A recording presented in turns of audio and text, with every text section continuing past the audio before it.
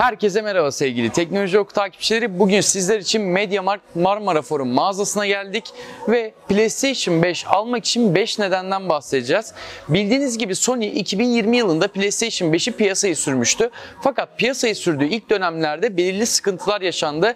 Örneğin stok sıkıntıları arkadaşlar. Her yerde izdihamlar görmeye başladık ve aslında Türkiye'de de bir dönem sonra benzer sorunlar yaşanmaya başlandı. Hatta yurt dışından PlayStation 5 getirenler bir anda kara borsada PlayStation 5 modellerini satmaya başladı. Çünkü Sony'den resmi garantili olarak almak isteyenler stok sorunlarıyla karşılaşıyordu. Yani en az 3-4 ay sonra alması gerekiyordu. Fakat bir zaman sonra Sony bu duruma el attı ve artık şu anda baktığımız zaman PlayStation 5'e oldukça rahat bir şekilde erişebildiğimizi söyleyebiliriz arkadaşlar.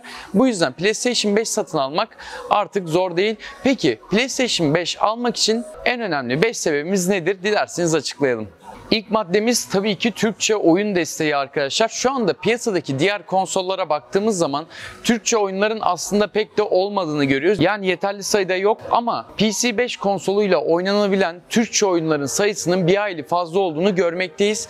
Bu da şu anlama geliyor arkadaşlar. Yani aslında piyasada yine PlayStation 5 fiyatına satılan diğer konsollara göre kıyasladığımızda Türkçe dil desteğine sahip oyunlar daha fazla olduğu için tabii ki tercih edilmesinde önemli bir rol oynayacaktır arkadaşlar arkadaşlar. PlayStation 5 için Türkçe yerel dil desteği sayesinde aslında oynadığımız oyunlarla resmen iç içe oluyoruz arkadaşlar. Çünkü zamanda çok İngilizce oyun oynadık ve artık Türkçe oyunu hak ettik diyebiliriz. Şimdi bir Türkçe oyun oynadığımız zaman oyunla alakalı daha iyi bir bağ kurabiliyoruz. Oyunu tamamen içerisinde yaşayabiliyoruz arkadaşlar. Bu yüzden Türkçe dil desteğinin önemli olduğunu söyleyebiliriz. Ve gelelim ikinci maddemize. İkinci maddemiz ise tabii ki DualSense arkadaşlar. PlayStation 5'e özel olarak üretilen DualSense'de aslında birçok özellik olduğunu biliyoruz. Ayarlanabilir tetik mekanizması veya kolu elimize aldığımızda aslında tam olarak elimize yapışan yani oldukça başarılı bir tasarıma sahip olan bir DualSense'den bahsedebiliriz. Ve bu DualSense'in aslında en önemli özelliğinin de titreşim motoru olduğunu söyleyebiliriz. Sony aslında öyle bir teknoloji kullanmış ki bu DualSense için elimize aldığımızda bir ateş ederken veya araba oyununda kaza yaptığımız baktığımızda yani aksiyon dolu ortamlara girdiğimiz zaman yaşadığımız titreşim farklı şiddetlerde olabiliyor. Bu da aslında oyunu daha iyi hissetmemize sebep olabiliyor arkadaşlar. Şu anda hem PlayStation 4 tarafına baktığımızda hem de piyasadaki farklı konsollara baktığımızda bizlere verilen kontrolcünün böyle bir hissiyat yaşatmadığını görüyoruz. Bu yüzden DualSense'in o güzel teknolojisine sahip olmak istiyorsanız da yine PlayStation 5'in tercih edilmesindeki en önemli nedenlerden biri olacak. Şimdi geldik arkadaşlar 3. maddemize tabii ki exclusive oyunlardan bahsedeceğim. Nedir exclusive oyunlar? Sony'nin PlayStation konsolları için özel olarak geliştirdiği oyunlardan bahsediyoruz. Ama burada bir de şöyle bir artı var arkadaşlar. Yeni exclusive oyunlar yalnızca PlayStation 5'e gelecek. Yani artık PlayStation 4 ve 3 modelleri için exclusive oyun desteğinin olmadığını belirtelim.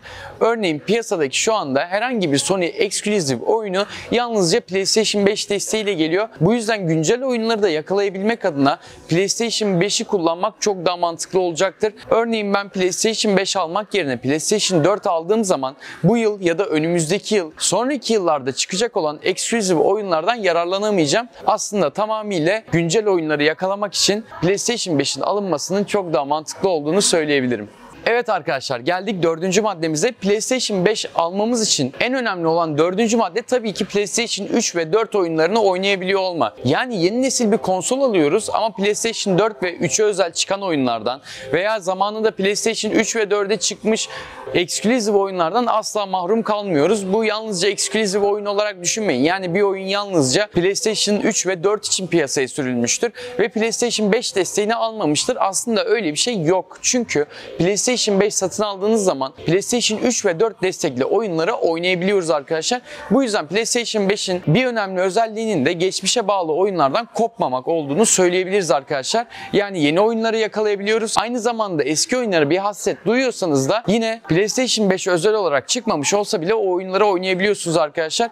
Bu yüzden geçmişteki oyunları oynayabilmenin de önemli bir avantajı olduğunu söyleyebiliriz. PlayStation 5 almanız için 5. nedene geldik arkadaşlar. 5. maddemiz ise tabii tabii ki PlayStation Plus özelliği. Bildiğiniz gibi Sony'nin PC Plus adında bir hizmeti bulunuyor. Nedir bu PC Plus hizmeti? Ayda belirli bir ücret vererek beğenilen ve sevilen oyunları oynayabiliyoruz arkadaşlar. Sony PlayStation Plus ile PS5 sahiplerine büyük avantajlar sunuyor. Her ay ücretsiz oyunlar, özel indirimler ve çevrim içi çok oyunculu oyun deneyimi gibi avantajlardan yararlanmak PS Plus özelliği sayesinde mümkün. Bu her ay yeni oyunlar denemek ve PlayStation mağazasından indirimli oyunlar satın almak için harika bir fırsat olarak karşımıza çıkıyor.